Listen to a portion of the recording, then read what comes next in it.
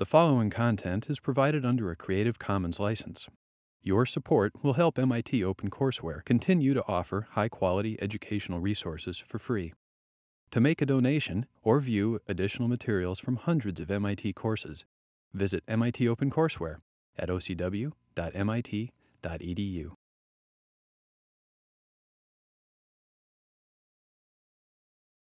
Hello. So welcome to the last lecture in 003. So there are more lectures scheduled, but I don't believe in trying to cram new material in the last couple of hours before the exam. So no new material after today, although it will be helpful if you continue to try to work on problems and try to uh, internalize what we did more, more recently. That's the idea. So I'm not trying to pump new information in. That doesn't mean that there are things there aren't things that you should be doing. okay? But uh, after today, no new information. In fact, today there's no new information. There will be a session on Tuesday, but the idea is primarily to get feedback from you people. As I mentioned last time, we've changed a lot of things. We change a lot of things every term, and our primary source of information is the end of term surveys.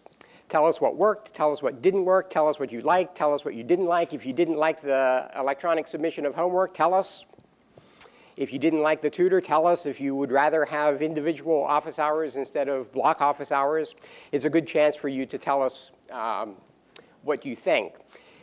And it's especially important that you fill out the uh, online subject evaluation. So please, if you have a laptop with a certificate on it, Feel free to bring it to lecture next time. Uh, that's one of the main ideas, but we'll also spend some time just discussing what, uh, what you think, uh, what you would suggest for improvements for next time. Questions or comments? Okay, so today is mostly just for fun. today is mostly just to tell you about the way 6003 plays out in technologies that you might have some uh, interest in. And I chose a technology that I am particularly interested in because, I've, uh, as I probably have mentioned in the past, like many of you, I was afflicted with an addiction of, uh, with music at about your age. I recovered. You will too. Um, but I was very interested in it. It was a very hot topic. And I want to talk about some of the things that 003 has done to make that industry very different today from what it was when I was an undergraduate. it may not surprise you, but it surprises me that the technology that we used was really not very different from the technology that the inventor invented. So who invented the uh, phonograph? You can look at the notes, you're supposed to know that. Just shout, right? Makes me feel better. Thank you. Edison. So Edison was, of course, a genius uh, and a prolific inventor. He was interested, at the time he invented the phonograph, he was interested in two things, two things that he was trying to draw um, relations between, telegraphy and telephony. We talked about telegraphy before. Telegraphy, telegraph, was a way of getting messages point to point. So person A wanted to get a message to person B, and it would be transmitted via the telegraph system. Now, I kind of oversimplified the way the telegraph system worked when I talked about it the last time. It really worked a lot more like message passing than you might have thought. What would happen is that there wouldn't be a direct connection between person A and person B. It might have to go through six relays. So in order to get to California, it might be important that um, a message that originated in Boston would go to New York, and from New York to, I don't know, Pennsylvania, from Pennsylvania to Chicago, uh, et cetera. so it, there may not be a direct route over long distances. So the way that was done, you would take your message to telegraph office A, the operator would uh, uh, key it in, it would get written down by the receiver, say in New York, who would listen to the message, write it out, basically reproducing your message there, then key it in to the next relay. So it might actually be keyed in uh, a dozen times before it hits the final destination. And that was tedious, laborious, hard, and um, Edison was interested in uh, fixing that, and to do so, he invented a paper tape system so that the receiver wouldn't need to listen. It would just punch out paper tape as the, as the clicks came in. So as the dots and dashes came in, it would make holes in paper. The holes in paper then could be used to transmit to the next station. So Edison did that. he was interested in thinking about whether you could do the same sort of thing with other kinds of signals besides telegraph signals, and that's the origin of the phonograph.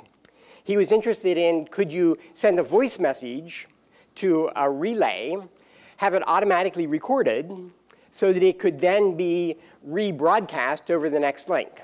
So he was kind of imagining a telephone network that was based on the same principle that the telegraph network had been. So the idea was to uh, try to record an audio signal of the type that would come across a um, telephone wire. so uh, he got together with his aide Batchelor and made this drawing. This was uh, 1877. And 30 hours later, kind of rapid prototyping for the time, uh, his machinist made this. So that's the first phonograph. The idea was uh, you wrap that disc with a piece of wax paper. You turn the crank.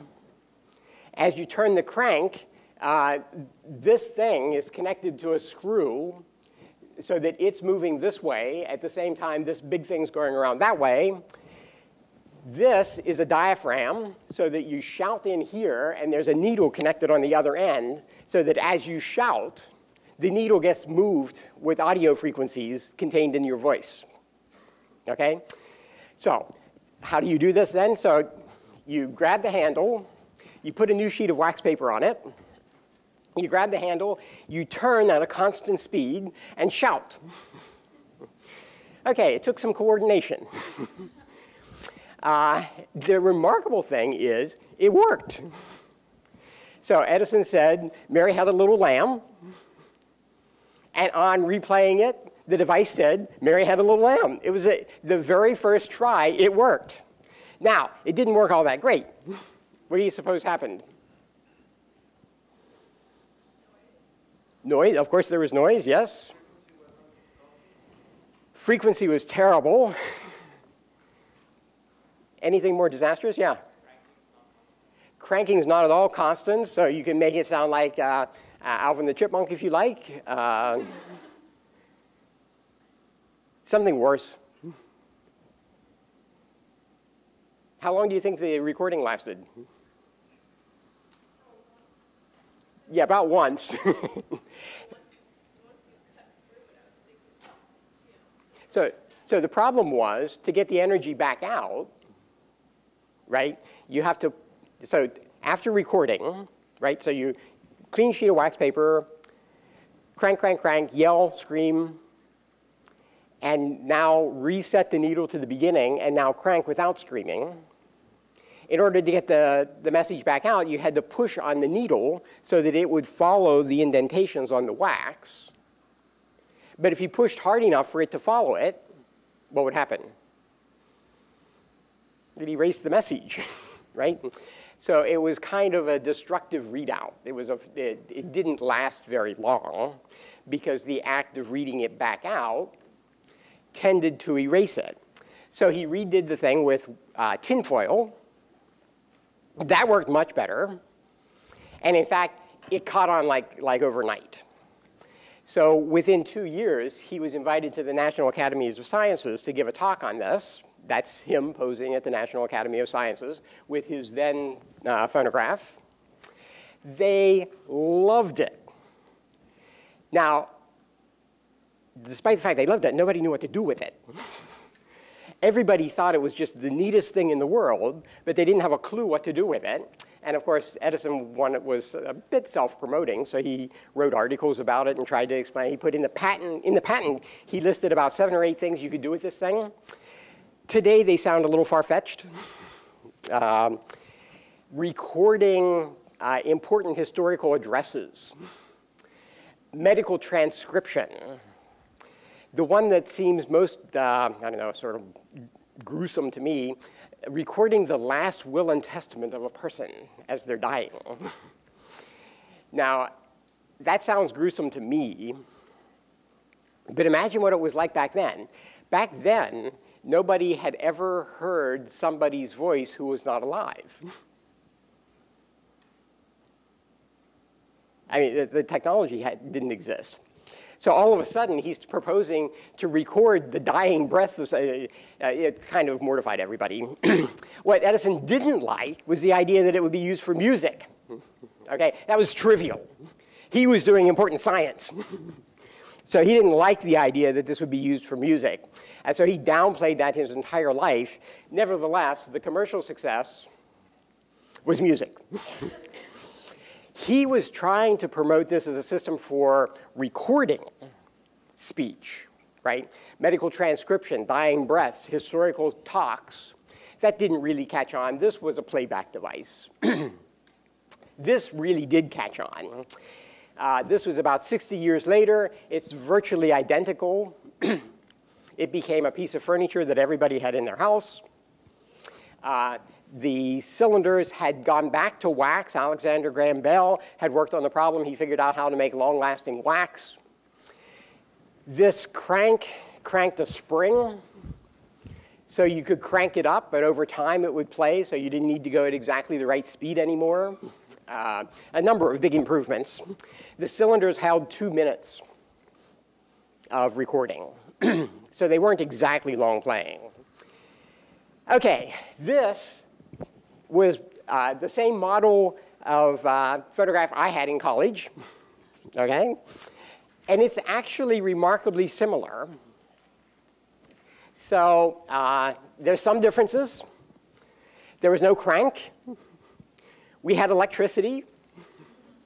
It had a motor, so the motor propelled it. It was no longer a cylinder, now it's a disc.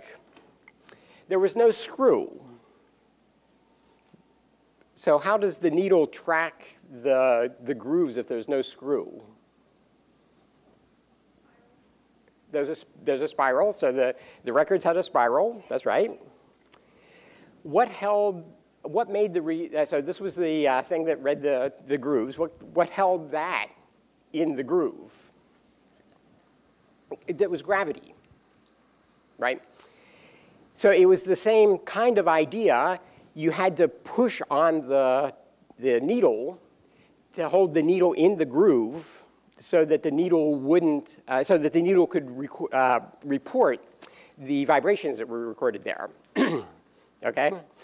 But this was much classier than, than uh, the version in Edison's time. Uh, so, in fact, you could tell how serious the audiophile was by how uh, by the different kinds of uh, performance enhancements of, of, this sort of thing. So for example, um, this little knob, this controls the weight, the force that's placed on the needle.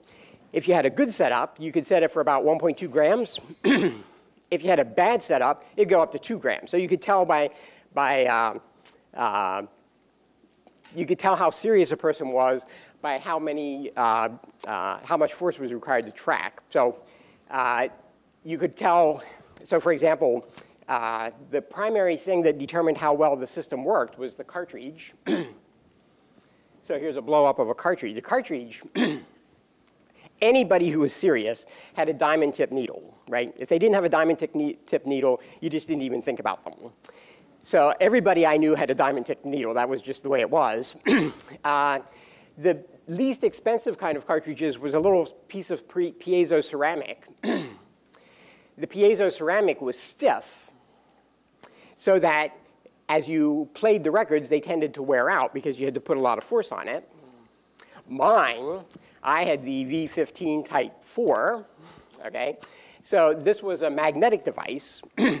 so there were tiny little electromagnets so that the up and down motions would be converted into an electrical signal by magnetism, not by piezoelectric effect. And you could track that with a much smaller force. and I should just mention, just you know, so you know that you know we were serious back then.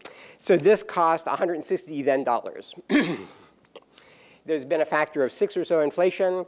This cost $1,000, right? And if you were serious, you had these.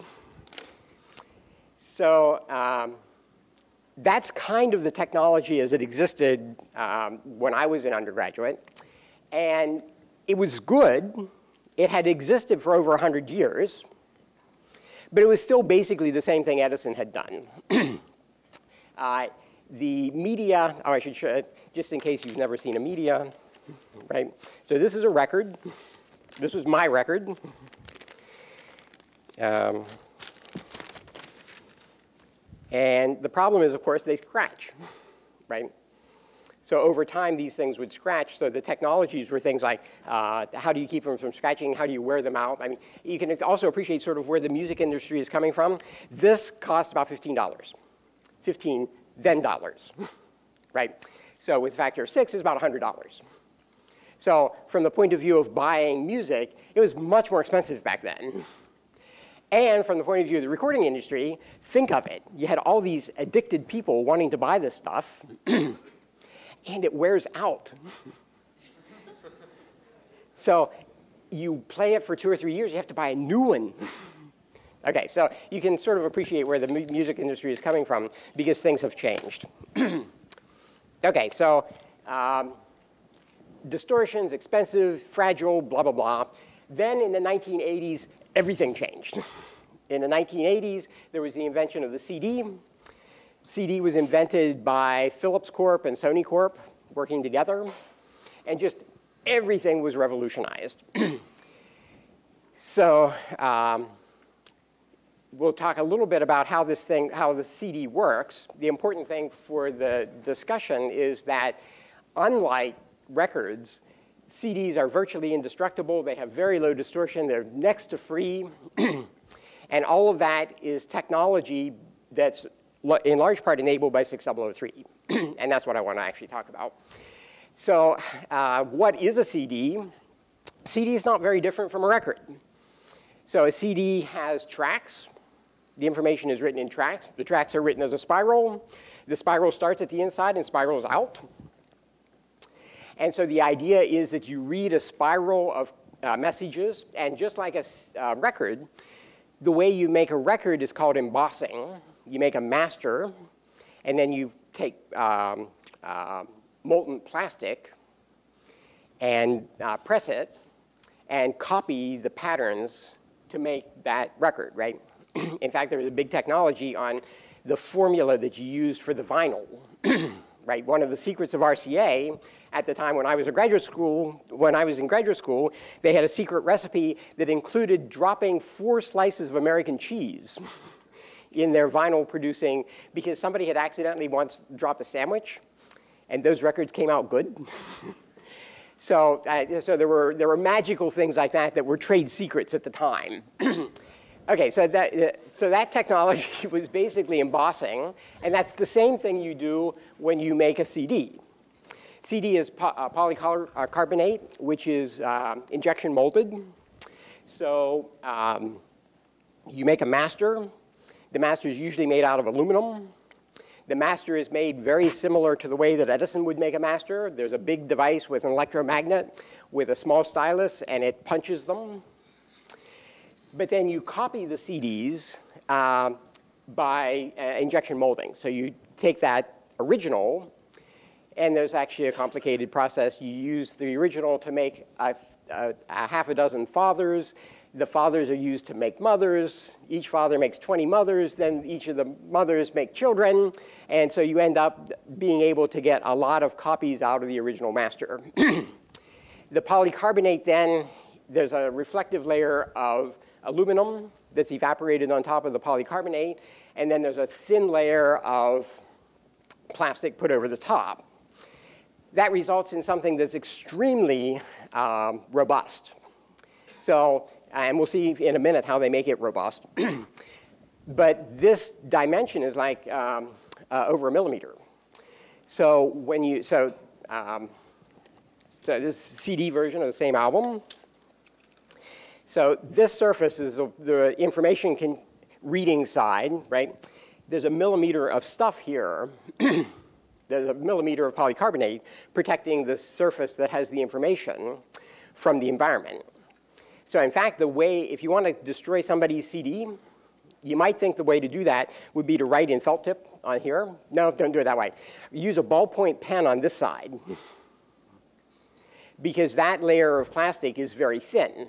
So use a ballpoint pen here, it'll completely screw it up. so uh, it's very robust when, uh, against imperfections on the read side. okay, so uh, that's kind of the structure. It's virtually indestructible is the point. so then uh, how do you get the information on it? Well, the information is coded in these patterns. The patterns are small. The, the pattern width is half micron. A human hair is 50 to 100 microns thick. so if you, and I have white hair, uh, well, I used to have blonde hair. I have gray hair now. Ignoring that for the moment. Uh, I used to have blonde hair. Blonde hair is about 50 microns um, diameter. Black hair is about 100 microns diameter. So be, depending on the color of your hair, it would obscure uh, so 30 to 60 tracks if you were to lay a hair across it. So these are very, very small patterns. and so the trick uh, for uh, uh, how you code them is a big problem. Before we get there, though, the, how do you code the audio? You won't be too surprised to find out that it's a sampled data system. So we do sampling just the way we've talked about it before. Audio, you can hear sounds from about 20 hertz to about 20 kilohertz. This is an audiogram. Audiograms plot as a function of frequency. What's the minimum amplitude required to be able to hear that frequency? You're most sensitive to, in the kilohertz region.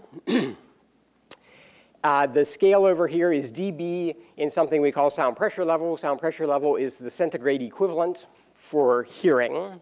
So zero is just audible, 100 is starts to hurt, 120 is uh, permanent damage kind of thing. so you can hear about uh, 100 decibels over a range from 20 to 20 kilohertz.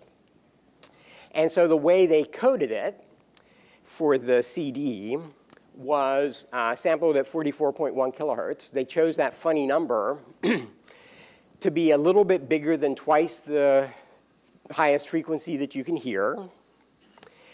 But they made it the funny number because they wanted it to be an integer, multi an integer multiple of 60, so it was easy to synchronize with television signals. That's where the funny number came from.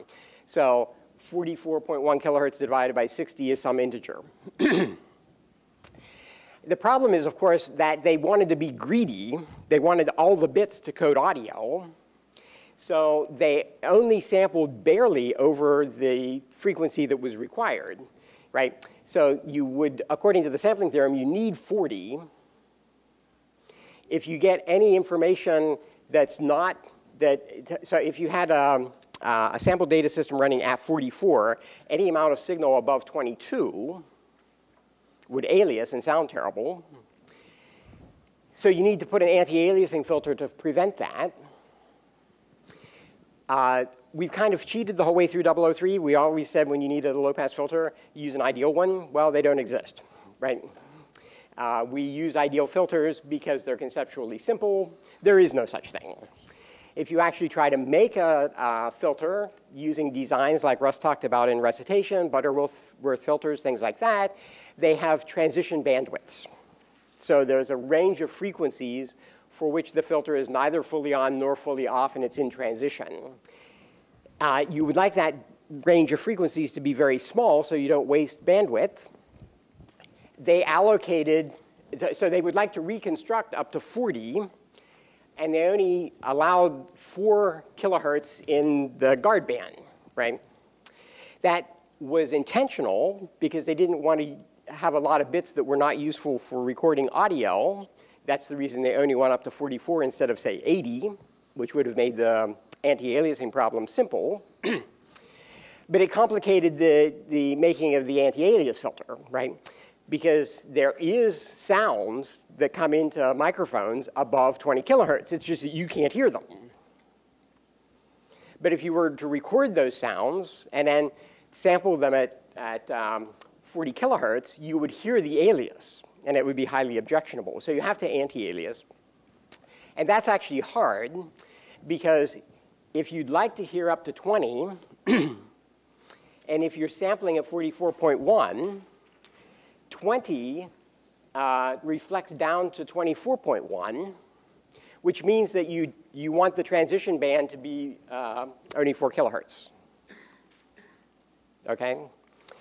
And if you think about the design of a filter like a Butterworth filter, in order to get a transition that attenuates by 80 dB, th think about the dynamic range of hearing, you have to make the loudest sounds small enough so that you can no longer hear them. So in general, you have to attenuate by about 80 dB. um, you need about 50 poles to get an 80 dB attenuation uh, using a Butterworth design in 4 kilohertz at 20 kilohertz. Everybody sort of know what I'm talking about? That's impossible.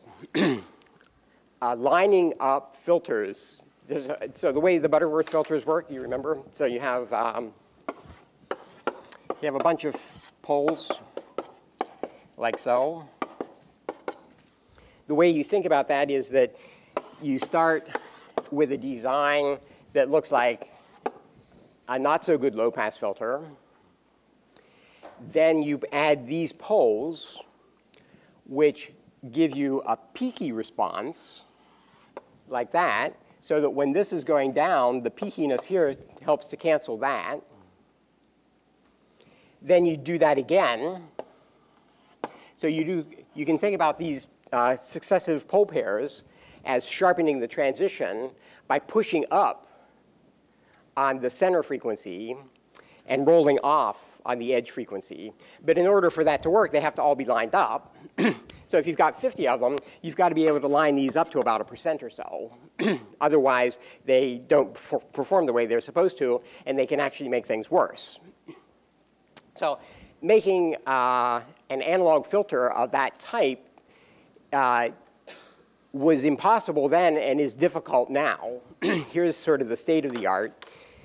So this, is, uh, this actually does have 80 dB of roll-off because it's a fancier design. It's an elliptic design. The trick here, though, is that all the parts are laser trimmed. so they're all done on one substrate. All the inductors, all the capacitors are done on a single substrate. Then they're laser trimmed so that they fall in exactly the right places. then it's uh, encased in aluminum to help to hold the uh, temperature constant and to keep the electromagnetic interference out. and even so, this has just 11 pole pairs. So this is not nearly adequate for that kind of a design. so what we do instead uh, is we do something called uh, oversampling. So instead of sampling at 44.1, which is what you would think would happen in a CD, you sample it four times that. By sampling at a very high frequency, you make it easy to make an anti-aliasing filter because now you only need to worry about saving the frequencies up to 20 kilohertz, but you've got 170 kilohertz to drop the uh, transition, to, to do the transition. So the filter design becomes very easy. In fact, a typical design only has five poles. Uh, so just a handful of capacitors, just uh, two capacitors uh, uh and two op amps will do that. so then you've got a system that uh, is sampled at 176 kilohertz. What's the problem with that?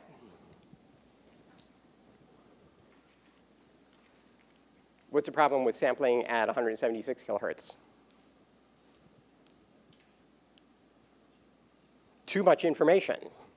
So what you've done by sampling at the higher frequency is you've increased the amount of information that needs to be stored by a factor of four. So instead of being able to record 74 minutes of music, you can record 74 divided by 4, 18 minutes of music. Nobody would like that, right? so how do you fix that?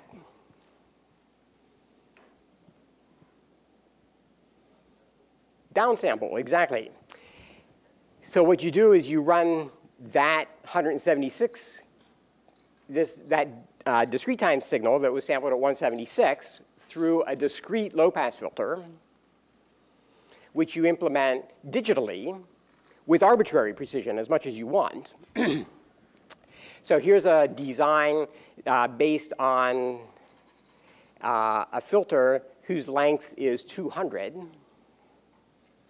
By making a length 200 discrete time filter, you can capture the basic sine t over t shape that you're trying to get with an ideal filter.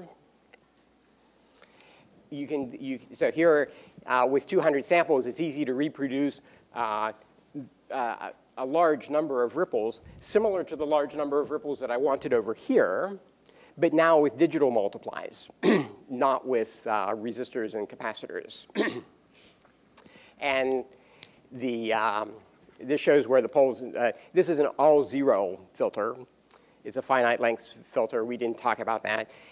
It's an easy way to implement uh, filter design. It's an easy way to design filters. Uh, it's a very popular way of doing it. So it's an all zero filter, and you can sort of figure out by thinking about the spacing of the zeros relative to the unit circle, how that implements a low pass filter. That was done with an automated uh, optimizing algorithm for finding the best low pass filter. The method is called the uh, Parks-McClellan algorithm. and it makes a very nice filter. So this shows a transition of uh, 80 dB passing 20 kilohertz signals and attenuating uh, 24 and above. so you can get a very nice filter by doing that in discrete time. So then, uh, having done the digital filter, you can throw away the frequencies that would alias and then downsample. yeah?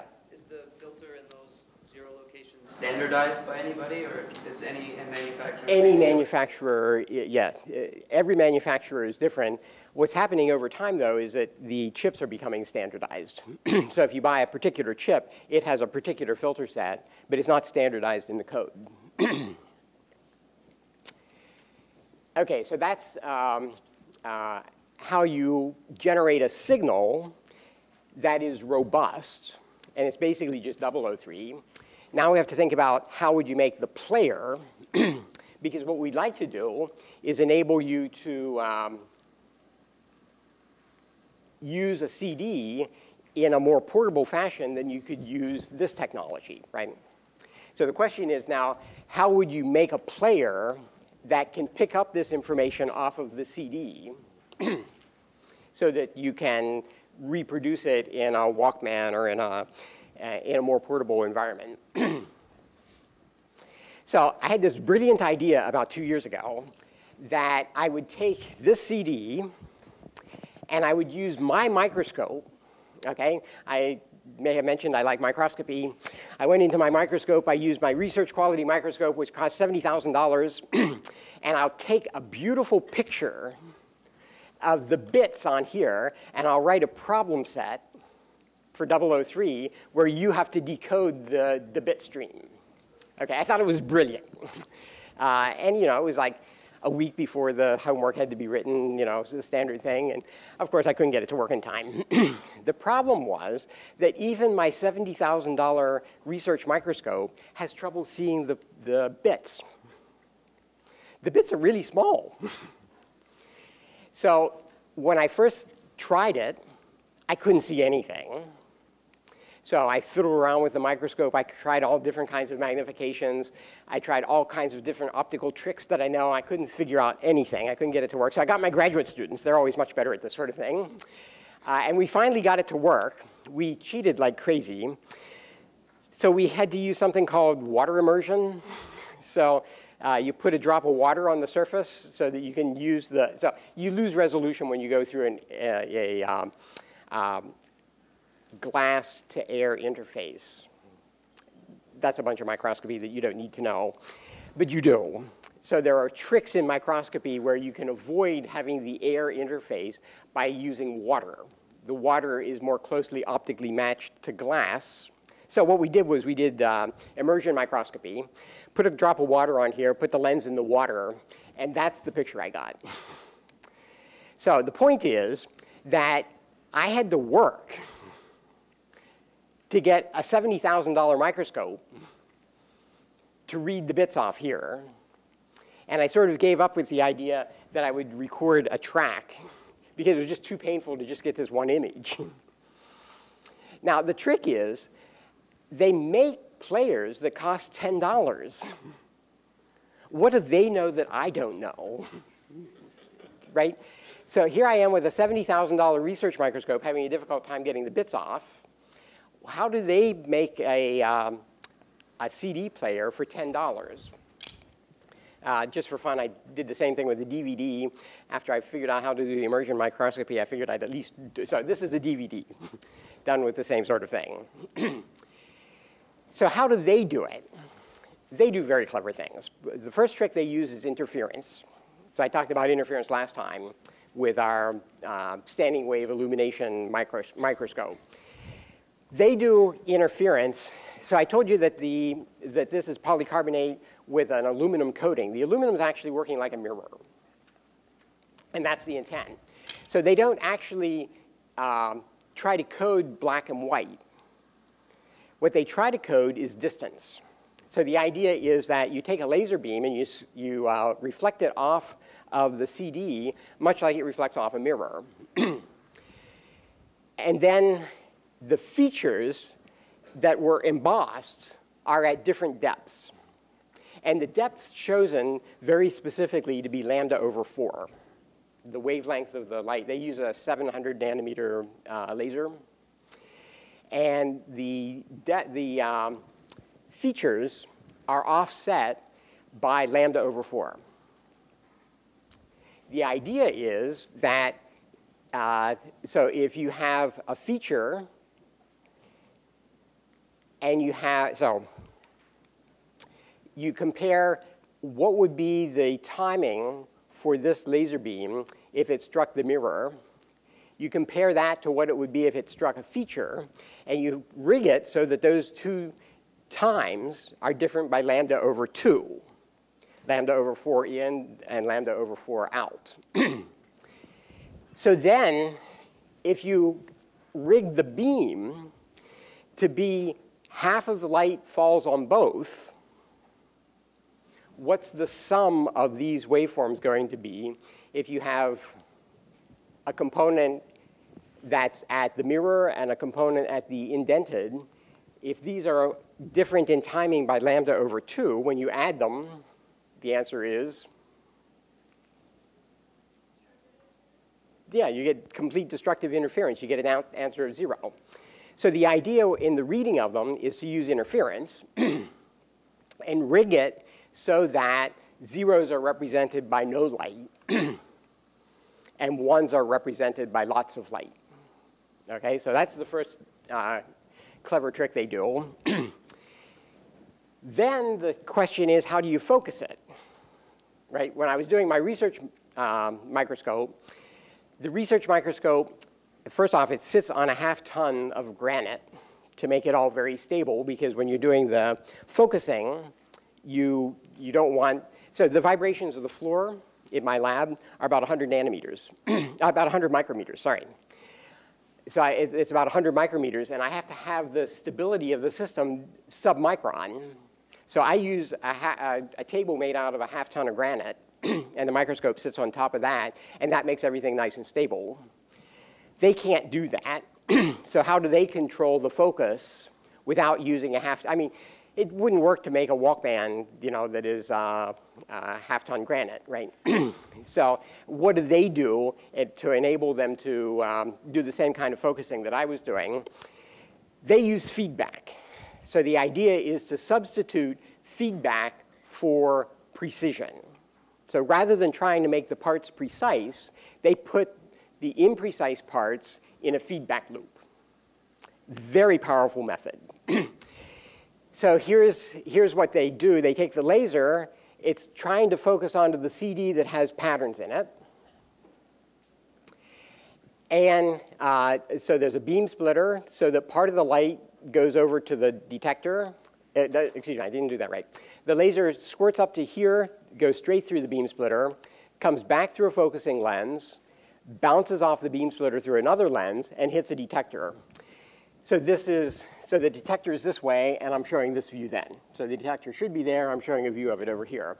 And it's, um, it's rigged so that these two lenses, one of the lenses is spherical, and one is cylindrical. What that means is you remember uh, I've talked about microscopy in the past. Out of focus means blurred. Blurred for a spot means bigger. As a, as a microscope goes out of focus, the spot gets bigger. What you do with these two lenses, because one is circularly symmetric and the other is cylindrically symmetric, what you do is you make the beam uh, in this direction go out of focus as it's going into focus in this direction. Okay?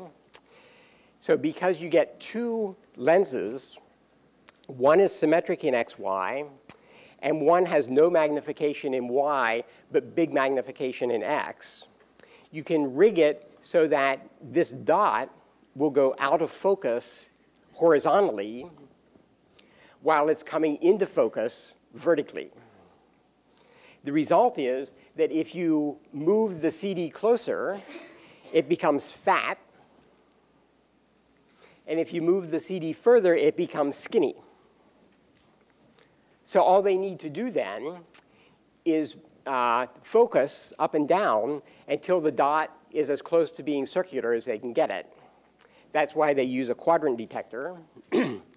so the quadrant detector lets them calculate A plus C minus B plus D, and you would like that answer to be zero. So now you use that as your error. You use the light that hits this quadrant detector to compute this number, put that in a feedback loop that drives the stage up and down the focus. so here's an ancient CD the CD would be here. Here's the, the uh, reading lens. Here's a platform that has an electromagnet under it that will move it up and down 100 microns. So what you do is, um, so this is, this electromagnet uh, is under the stage. so this whole thing goes up and down to make, uh, in a feedback loop, that tries to make this error signal be zero, tries to make the pattern circularly symmetric.